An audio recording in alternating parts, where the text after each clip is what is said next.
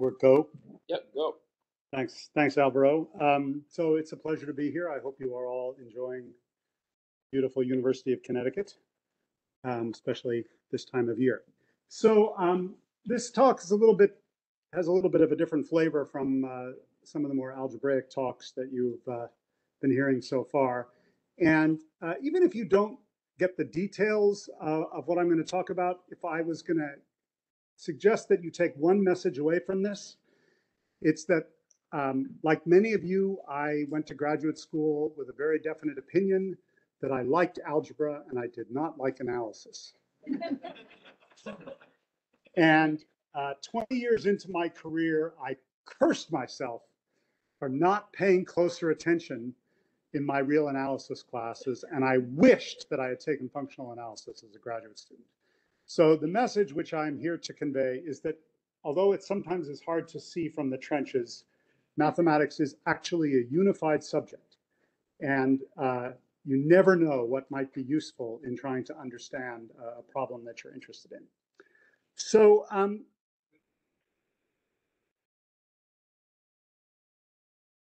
Good. All right. Well, so this talk's going to have a little bit of analysis in it. And um, so here's an overview of the talk. I want to talk a little bit about classical Fourier analysis, uh, which maybe you've learned about in a course on partial differential equations or something like that. Or maybe you took a, a serious analysis course, unlike me. Then uh, I want to talk a little bit about uh, the p-adic integers from the point of view of analysis. So I want to talk about the space of continuous functions on the p-adic integers and a theorem called Mahler's theorem, which gives you a very nice complete description of what that space looks like. Then I want to introduce the ideas of distributions, characters, and the Iwasawa algebra. So this is kind of the Fourier theory part of the talk. And at the very end, I will say just a tiny bit about what this is all used for in the setting of uh, the construction of p-adic L functions, and it's useful in many other contexts in, in arithmetic as well, but I won't, uh, I won't be able to say very much about that. So that's the strategy. So let's talk a little bit about Fourier analysis uh, in the classical case. Uh, so Fourier analysis in this context deals with compact abelian topological groups. So a topological group is a topological space, which is a group, and for which the group operations are continuous. So multiplication and inverse are continuous. Uh, classic examples of compact topological groups are finite groups with discrete topology. Uh, so the entire theory of finite groups is incorporated into this.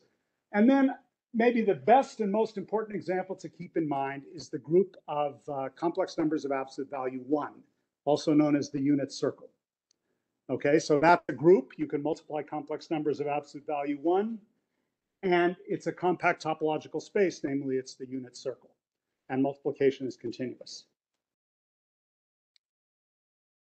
When you start to think about um, Fourier analysis, the first thing that you end up having to wrestle with are the notion of spaces of functions.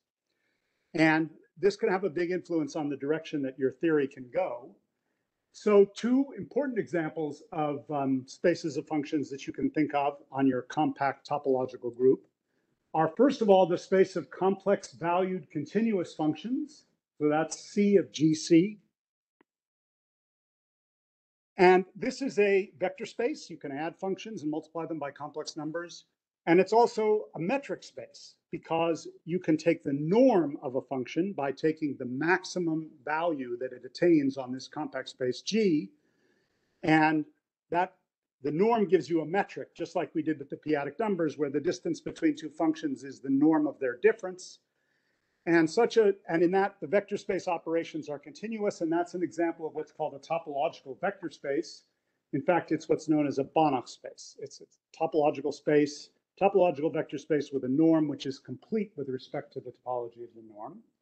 And you can also think about Hilbert space, uh, I'm not going to give the full definition of it, but roughly speaking, it's the space of functions on the circle, in this case, which are square integrable. So you can integrate the absolute value of f squared and you get a constant number, you get a, a number.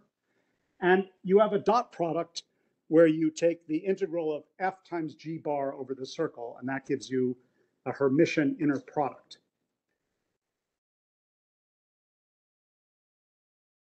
Once you have function spaces, you can construct, yeah.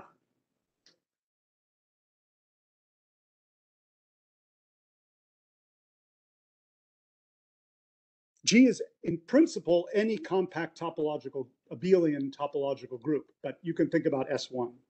The- yeah, I've written it for the circle. Christelle conveniently mentioned Haar measure. In the case of a, if you if you know these words, then you can construct this in general using Haar measure. Distributions are one way to think about distributions is that it's a kind of integral so it's a machine which takes a function and converts a num converts it to a number. So the idea would be that a typical distribution uh, is a, for example, an L2 distribution is a continuous linear map from the space of L2 functions to the complex numbers. And you and a, a continuous distribution is a linear map from the space of continuous functions to the complex numbers. One way to, you can, some people write these things like this. They would write it as the integral over g of f d lambda. f goes to the integral over f of f d lambda. So that's the sense in which a distribution is like a measure on the group. And um, in the case of Hilbert, by Hilbert space theory, any such continuous distribution is actually gotten by taking the dot product against a function. This is sometimes called the Hilbert space version of the Riesz representation theorem, if you've studied this. And it's the analog in the infinite dimensional Hilbert space of the fact in finite dimensional vector spaces that if you have a non-degenerate inner product, that any linear form is gotten by dot product against a vector. So as I mentioned, you can think of a distribution as a kind of integral. And just to give you one very concrete example of a of a distribution, there's what are known as the Dirac distributions. Namely, this is the linear function which take linear form, which takes a function and evaluates it at the point x. And at least on continuous functions, that makes sense. Uh, there's also, as Christelle mentioned, in a very general setting, um, an invariant distribution of mass one known as the Haar measure. And in the case of the circle group, that's one over two pi d theta, so that sends f to the integral of f d theta 1 over 2 pi. Theta goes from 0 to 2 pi. Those are examples of distributions. Okay, we're almost through the ingredients of Fourier theory. The next ingredient is what are called characters. So this is the group theory part of it. A character is just a continuous homomorphism from the group into the circle group. Here the circle group plays a slightly different role. It's the target of the map. So in the particular case where G is the circle group, we'd be looking at homomorphisms from T to itself. The set of characters are a group because you can multiply them together. So they're an abelian group themselves, and you can put a topology on them so they form a topological group, although typically they're not compact. In the case of the circle group, the continuous characters are the maps of the form z goes to z to the n, or if you prefer, e to the i theta goes to e to the i n theta. Those are the homomorphisms from the circle group to itself, which are continuous. And so from that point of view, the space of characters is the integers. Each integer n corresponds to the character phi of z is z to the n. Yeah. Uh, I'm not going to answer that at the risk of getting it wrong. It depends on what your function space is, I think.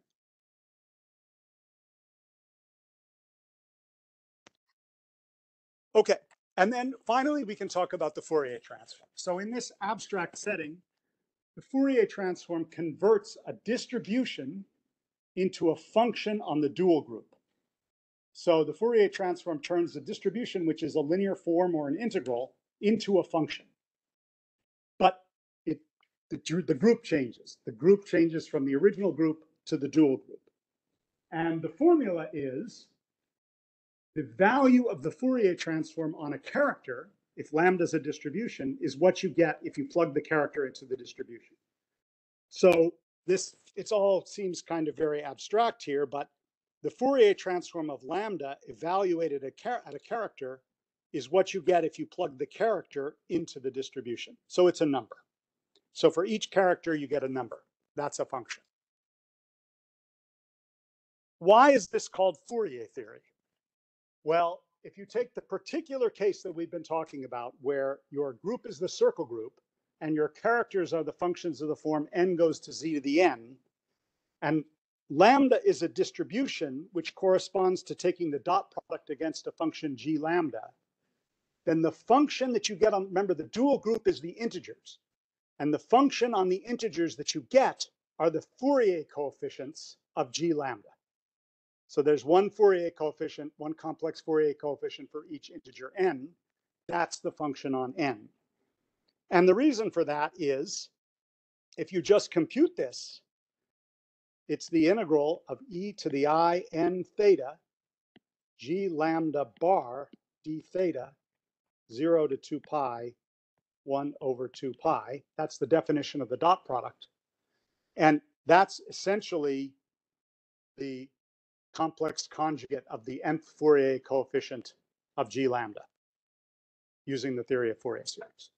So in this fancy version of Fourier theory, the coefficients of the Fourier series of a periodic function are the values of the dual of the Fourier, the values of the dual, the values of the Fourier transform on the dual group, which is the integers.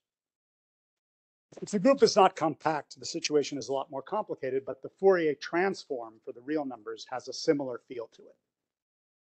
So just to recap, the key ingredients are a compact abelian group. We looked at the circle group. A certain space of functions on that group, like continuous functions or L2 functions. The dual of that space, that is to say measures or distributions, characters, which are homomorphisms from the group into the multiplicative group, and then this abstract process which turns a distribution into a function on the character group. Okay, this is a very basic process in representation theory. If you've taken a course of represent, in representation theory, at least for abelian groups, you would have seen this as well. Yeah.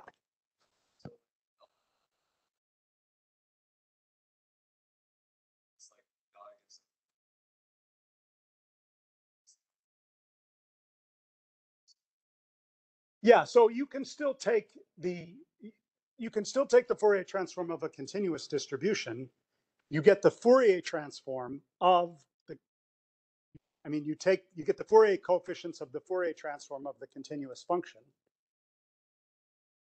The problem is, I mean, you get numbers. Maybe that's the right way to put it. You take the distribution, you get numbers. If you take that corresponding Fourier series, relating it back to the distribution, gets you into complicated reasons why I never wanted to study analysis in the first place, having to do with the relationship between the Fourier series of a continuous function and the continuous function itself.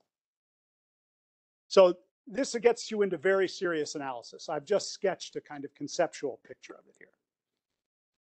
And if, if there are any analysts in the audience, I apologize. Okay, so now we're going to try to do this p-adically. So in p-adic Fourier theory, we have to sort of put together the ingredients of what we just discussed. And the ingredients are, well, the group that we're interested in is the p-adic integers, the additive group of the p-adic integers. So that's a compact abelian topological group. Uh, Christelle mentioned that if, that if, the, uh, if you have a discrete valuation ring with a finite residue field, that the, the, that ring is automatically compact. One way to see that ZP is compact is to observe that it's complete by construction and it's totally bounded, which means that you can take, a, it has a finite covering by open balls that are arbitrarily small. And the arbitrarily small open balls are the residue classes A plus P to the N ZP. If N is large, those residue classes are open balls which are arbitrarily small, but there's only finitely many residue classes. That proves that ZP is compact. We're going to look at the space of continuous functions from G to K, where K is a complete extension field of QP. If you want K to be QP, that's fine. Okay, if, if complete extension field of QP means something to you, you can use that. That just allows you, remember we looked at functions on the circle with complex values. Here we're allowing the values to lie in a bigger field so we can get in things like roots of unity, which might not be elements of QP. It's not crucial. But we're going to look at the continuous functions on this compact group with values in a p-adic field. We're going to look at the distributions, that is to say, the linear the dual of that space. We're going to look at the characters, that is to say, the homomorphisms from G, which is ZP, into the multiplicative group of the field. And then we're going to use the same machine that we did last time. Given a distribution, we're going to convert it into a function on characters. And that's going to be our Fourier transform. Now, um, there is, by the way, I should say, since ZP is a perfectly legitimate compact abelian group, we could take the field to be C, the honest complex numbers. And there would be the Fourier theory of the kind I discussed in the first half of this talk is totally legitimate in that case. And uh, that's the kind of Fourier theory which plays a role in the construction of, say, the Riemann zeta function by the methods of Tate's thesis. If, again, you've seen this. So there you're looking at complex valued functions and you're looking at their Fourier transform. We're interested in continuous p-adic functions of ZP. And the big difference between p-adic Fourier theory is that there are many, many more continuous p-adic functions on ZP than there are complex valued functions on ZP. Because of the fact that ZP is totally disconnected, every open set is also closed, one consequence of that is that p-adically, a locally constant function, like for instance the function which is 1 on the, if, f of x is 1, if p divides x and 0 otherwise, this is a p-adically continuous function. And um, that's kind of a strange, you don't have that in real analysis. So um, there are many more continuous p-adically valued functions. The other problem is that there's no L2 theory because to have a non-degenerate form, you need to know what a positive number is, but p-adically there are no positive numbers. And finally, the Haar measure exists, and the Haar measure assigns to the spe the, the Haar measure of the of the of the ball p to the n zp for the very good reasons that Christelle indicated has to be 1 over p to the n. But this is a small set, and this is a big number p-adically. So the Haar measure p-adically has the property that small sets get what we think of as small get big by the Haar measure. And that means that continuous functions are not Haar integrable. So the whole representation theory that's based on the Haar measure and the whole Fourier theory based on the Haar measure goes out the window p-adically, and you need to think of something else. So let's start by talking about continuous functions uh, on the space of p-adic integers. And feel free to interrupt me if I'm talking nonsense. So again, G is our, is our abelian group, ZP, our compact topological group. And K is a ex complete extension field of QP, which, if you like, you can take to be QP itself. And we're going to consider the space of continuous functions from G to K. And what are some examples of such functions? Well, one of them I already mentioned. You can make locally constant functions. So for instance, you can take the function which is 1 on PZP and 0 elsewhere, or you could take the functions which are, you know, 1 if x is congruent to 5 mod 23 and 0 if x is not congruent to 5 mod 23. And these functions are continuous. If, if it's not clear to you, and I wouldn't expect it to be if you haven't worked in this field, um, you should think about why locally constant functions are continuous. Um, it's, it's more or less a translation of the fact that open sets in ZP are closed together with the compactness. So um, you should think about that as a little exercise in topology. Um, another important class of functions that are continuous are the characters of finite order, of order p to the, yeah.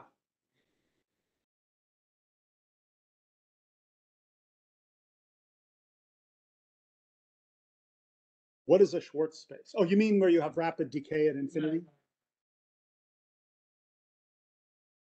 So if you were doing the, the classical kind of Fourier analysis, you might consider functions on QP.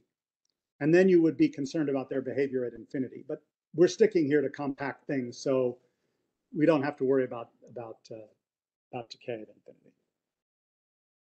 Um, Okay, so the characters of finite order, take a p to the nth root of unity and take a p-adic number. You can raise a p to the nth root of unity to the power of a p-adic number if we use the power series expansion that Christelle talked about just in the last talk. Because when you raise your p to the nth root of unity to a power, which is a p-adic number, and you think about this power series, eventually you've got p to the n's out there. But zeta to the p to the n is one.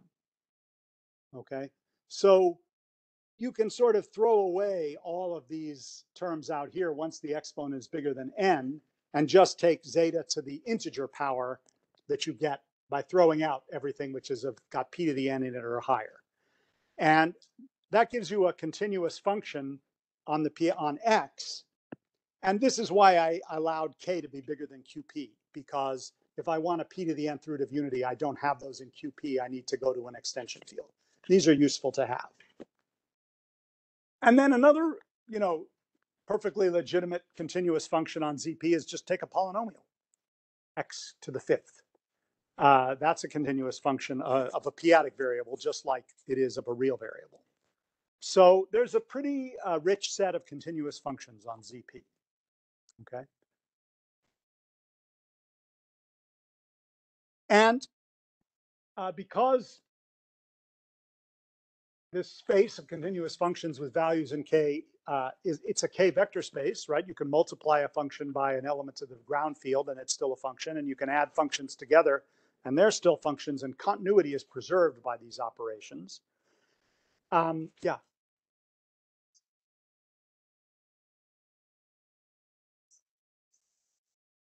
Where?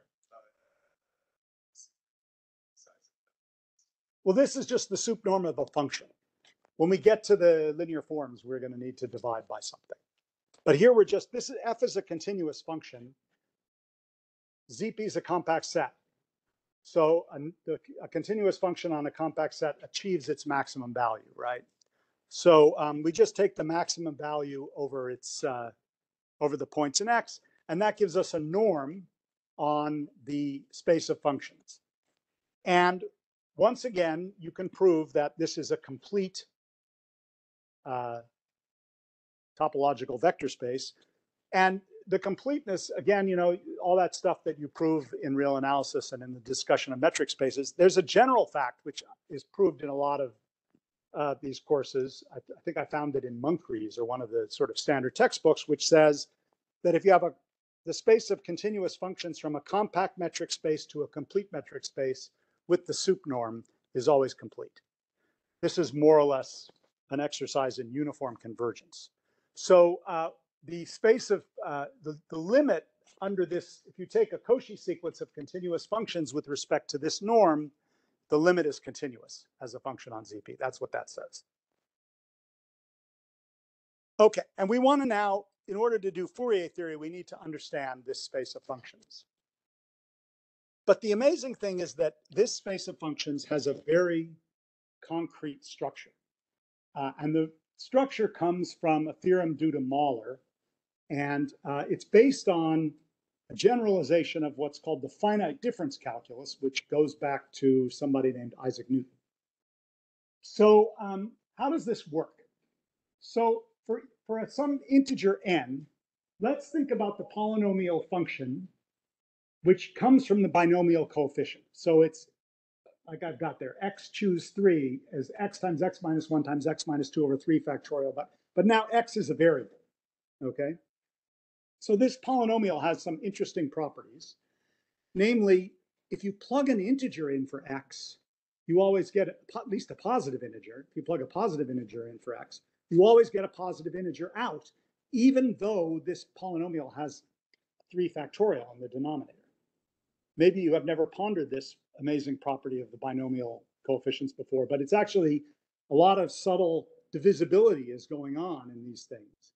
So it's a general fact that if you take these polynomials and you plug in a positive integer, even though they're not integer polynomials, they don't have integer coefficients, they take integer values, okay? And it's not too hard to show from continuity properties because the integers or the positive integers are dense in the p-adic integers that this is still true if you plug in a p-adic integer for, to these polynomials. So even though they look like they shouldn't, these polynomials take integer values even when x is a p-adic integer, okay, despite the factorials that occur in the denominator. So what does Mahler's theorem say? Mahler's theorem says that in a certain sense, these binomial polynomials form a kind of a basis for the space of continuous functions on ZP. So in what sense do they form a basis? Well, uh, it, what's true is that if you have any continuous function on ZP, it has a unique expansion of the form sum n goes from zero to infinity a of n xn, where the a of n are p-adic numbers. If the values of f are in k, then the a of n are in k. And the condition is that the, the absolute values of the a of n's go to zero p-adically. And in fact, it's if and only if. So one of the miracles and one of the reasons why, even if you're forced to do analysis, there's an advantage to doing p-adic analysis, is that p-adically a series converges if and only if the absolute, the p-adic absolute value of its nth term goes to zero. Sum of a n converges if and only if absolute value a n goes to zero. And with a little bit more work, you can show that this series un converges uniformly because these binomial polynomials are integer valued. So this limit is a continuous function, and any continuous function has a unique expansion in this form. So this gives us a very concrete representation of the space of continuous functions, namely, they're determined by this sequence A of n of coefficients, subject to the condition that the norms of the A of n go to zero. So C of gk is isomorphic as a Banach space to the space of sequences a0 of n, a1 of n, and so forth. Sorry, a0, a1, and so forth, where the absolute values of the AIs go to zero p-adically. And you add them pointwise, uh, just as you would, because if you add the functions together, you add the coefficients pointwise. How do you prove this? Well, there, yeah.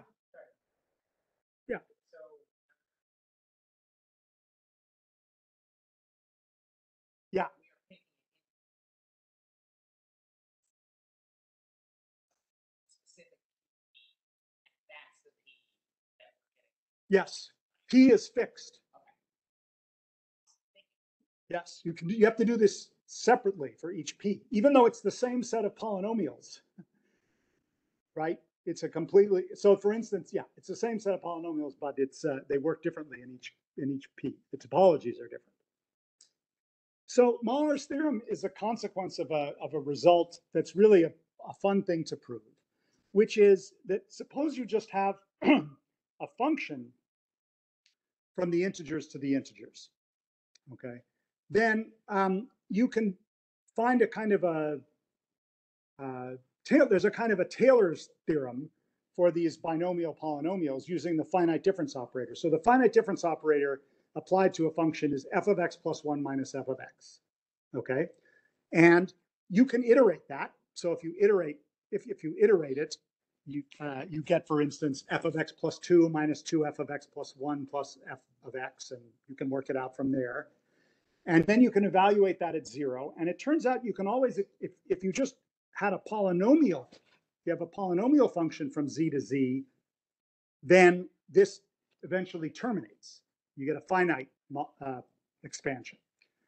But if you just have a continuous p-adic function and you do this expansion, it turns out that these difference operators actually go to zero p-adically. Uh, and Keith has a nice set of notes uh, on his webpage that explains how to prove this. It's a very uh, clever argument. Uh, but the result is that this um, finite difference expansion for polynomials extends to an infinite extension ex expansion of an arbitrary continuous function. And that's uh, called Mahler's theorem.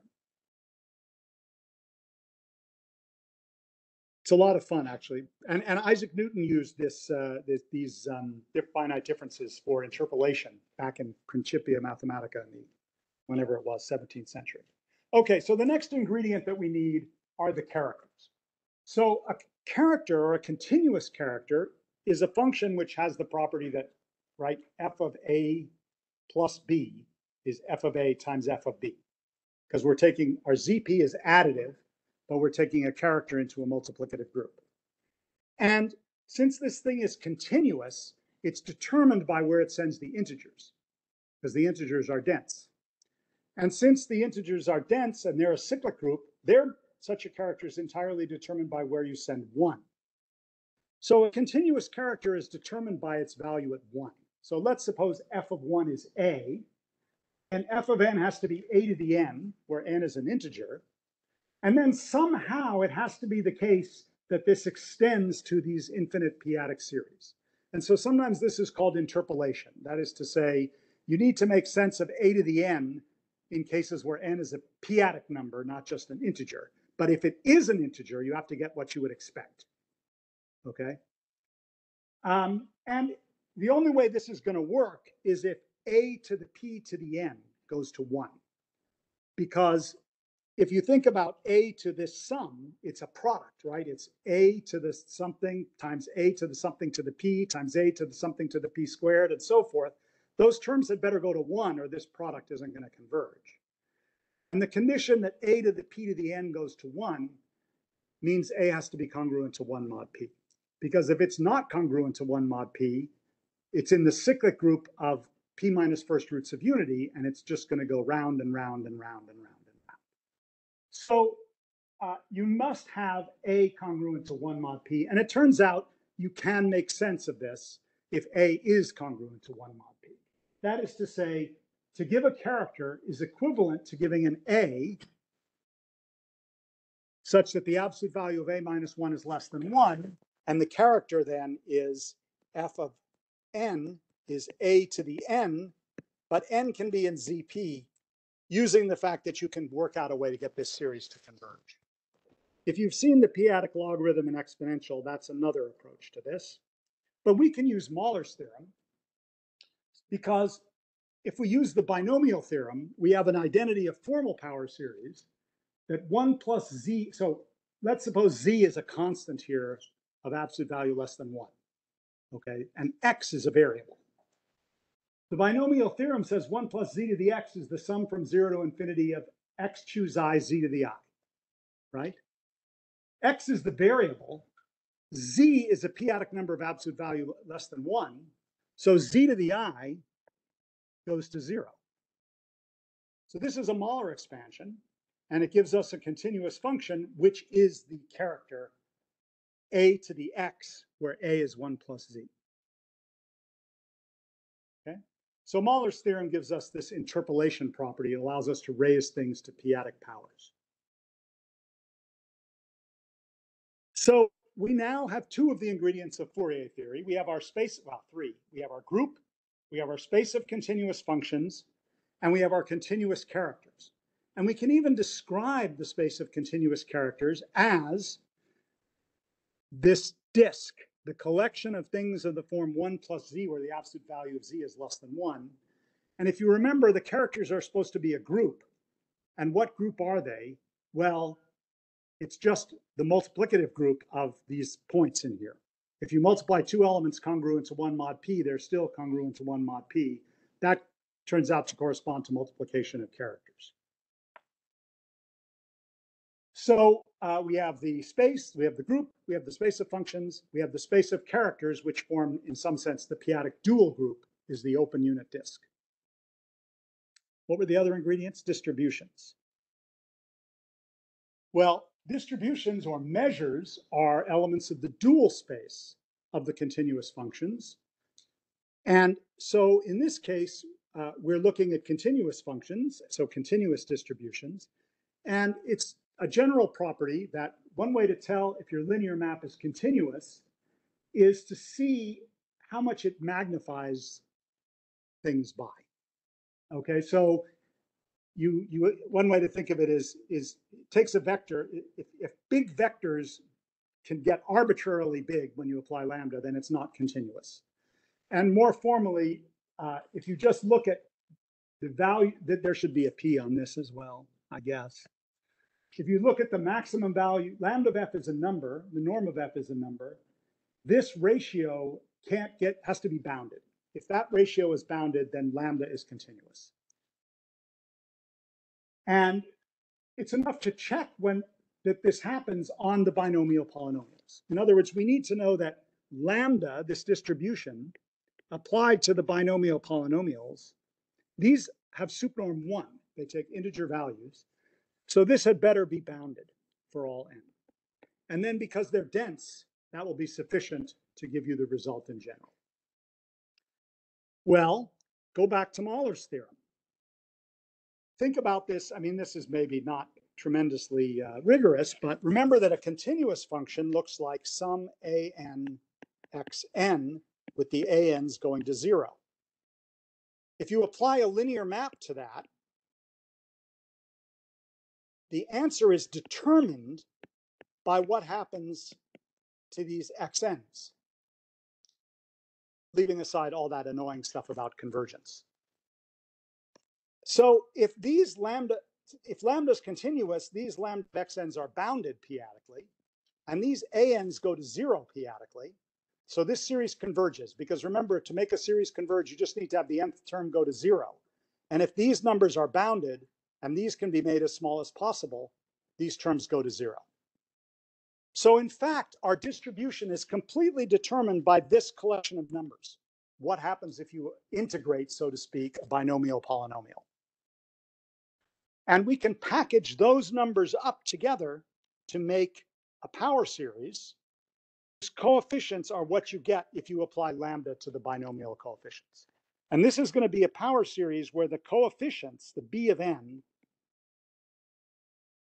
are less than some constant.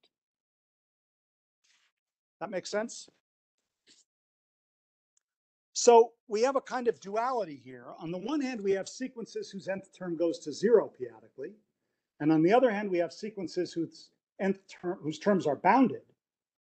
And we can take their dot product, and that gives us a number because those series converge. And that's the duality between continuous distributions and continuous functions in the, so to speak, basis given by the Mahler expansion.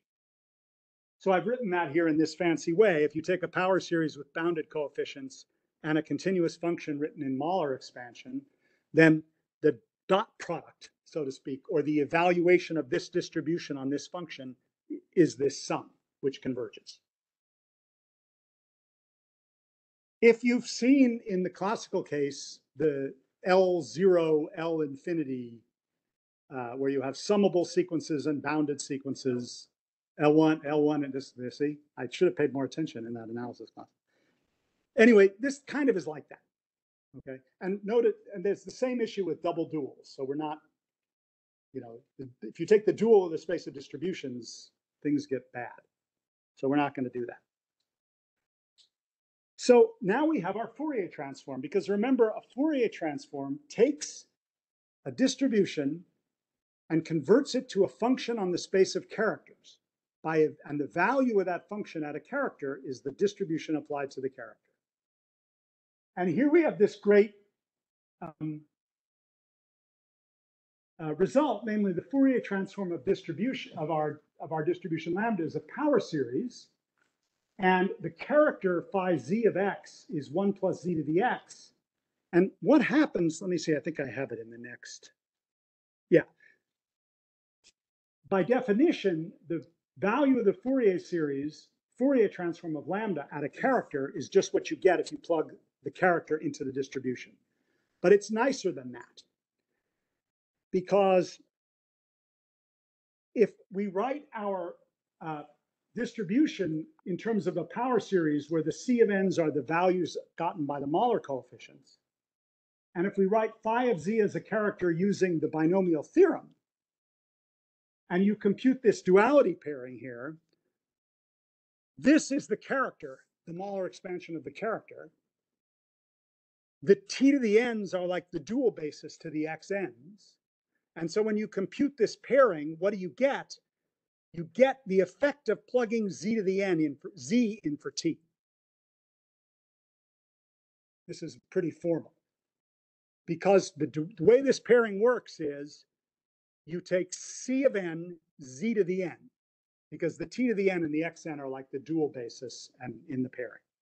In other words, if we think about a distribution as being given by a power series, its Fourier transform is the function on this character variety, which is given by that power series, which converges because the coefficients of the power series are bounded and the value that we're plugging in has absolute value less than one, and so its powers go to zero p-adically.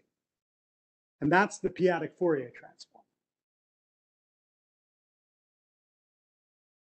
So what this means is that this space of distributions, D of G of QP, can be identified as the space of formal power series whose coefficients are bounded p-adically. And inside that, you can take the power series, the formal power series, which are integer, have, which have coefficients whose they're all bounded by one, so they're p-adic integers. And this space, which is the formal power series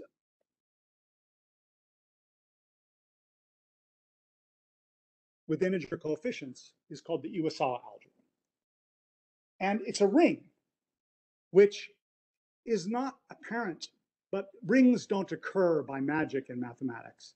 And there's a reason it's a ring. In fact, it's a general fact that the distributions on a group form a ring. And this is a consequence of an operation known as convolution, which you may have seen in the context of classical Fourier analysis. There is, I didn't want to get into it, but there is a convolution operator in this setting as well. And it means that D of GK is automatically a ring. And the Iwasawa algebra, the ring structure on the Iwasawa algebra is convolution of measures. So um, and so this, this is the, the, the Iwasawa algebra is the unit ball in this bigger ring where the coefficients are bounded and not necessarily. Now you've probably heard of, well, maybe I'll just do a couple things real quick. Um, you might, what we know how to integrate um, characters. That was sort of what we did before. But uh, you can turn this around, and if instead of thinking about 1 plus t to the x as uh, t being the variable, remember the, the character was 1 plus z to the x, where x was the variable and z was fixed. But you can turn this around and think about the power series where t is the variable and x is fixed. And when you expand that out using the binomial theorem, you get a distribution whose coefficients are xn, but now these are numbers because x is a fixed number and t is the variable. And what distribution is that? Well, if you compute the pairing against a character, it's sort of turned the other way around. You end up evaluating now uh, the very you get phi z of x. In other words, you have end up evaluating the character at x. So this turns out to be the Dirac distribution. 1 plus t to the x as a power series in t is the Dirac distribution in x. Whereas 1 plus z to the x as a power series in as a Mahler expansion in X is the character that corresponds to Z. And if you want a little more fun, you might ask, what about the function x to the n? And it turns out that um, if you want to evaluate a distribution on the function x to the n, well, you would need to compute the Mahler expansion of x to the n. And that's kind of annoying, except that you can notice this fact. And um, by doing some uh, in the interest of time, I won't spend too much time on it, but the formula that emerges from this is that if you want to compute, you want to compute the distribution corresponding to a power series to the function x, uh, applied to the function x to the n, what you do is you take 1 plus t d by dt, apply it to f n times, and evaluate it at t equals 0. So in some sense, the coefficients, it's some mixed up version of the, of the Taylor polynomial coefficients of of f because of the 1 plus t, uh, which gives you the integral of x to the n. And uh, so now I promised you applications. And so I have what, three minutes to give you applications. That's about what I figured would happen.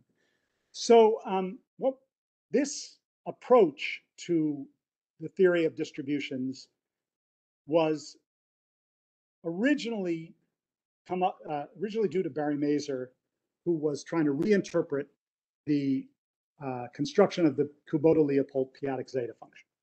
So the Kubota-Leopoldt p-adic zeta function is a p-adic function of S. It's an analytic function of a p-adic variable, which if you plug the right values in for S, agrees with the classical Riemann zeta function at those values for S.